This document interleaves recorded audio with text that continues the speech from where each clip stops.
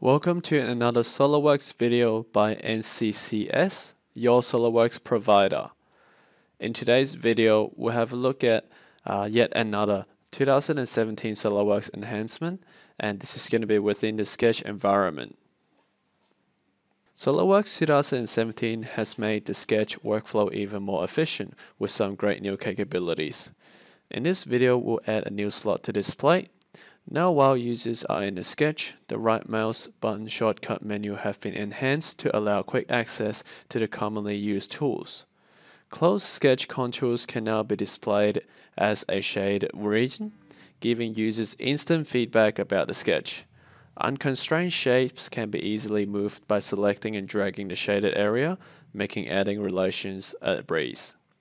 By simply selecting the shaded contour, additional commands can be accessed via the context menu. The new Alt key shortcut allows single or multiple contours to be pre-selected so that creating a feature is just one click away. All these new enhancements make working with sketch geometry easier and even more intuitive in SOLIDWORKS 2017. This is your first look at SOLIDWORKS 2017 with NCCS. Thank you for watching.